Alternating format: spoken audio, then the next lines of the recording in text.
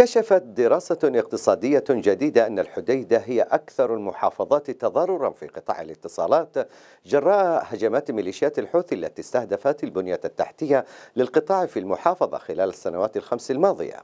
وقدرت الدراسة الممولة من اليونيسف تكلفة الأضرار التي لاحقت بالبنية التحتية لقطاع الاتصالات منها الأبراج والهناجر في محافظة الحديدة بمليون وأربعمائة ألف دولار. وأضافت الدراسة أن حوالي 19% من أصول شبكة الهاتف المحمول تعرضت لأضرار الجزئية و6% تعرضت للتدمير الكلي مما أدى إلى انخفاض في معدل انتشار الهاتف المحمول بنسبة 11% منذ العام 2015 فيما بلغت تكلفة أضرار شبكة الهاتف الثابت على مستوى البلاد بنحو 47 مليون دولار حتى مارس 2018 واعتبر قطاع الاتصالات الذي تسيطر عليه ميليشيات الحوثي من أهم القطاعات الإرادية للموازنة العامة ويأتي ثانيا بعد قطاع النفط.